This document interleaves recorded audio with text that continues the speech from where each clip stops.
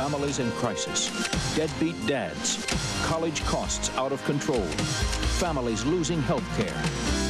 Richard Shelby's fighting for solutions. A tough new bill to make fathers pay child support. A solution praised by experts across the state. A new law expanding student loans for the middle class. A plan to guarantee health insurance even if you lose your job.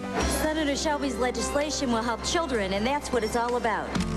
Shelby, Senator, part of the solution.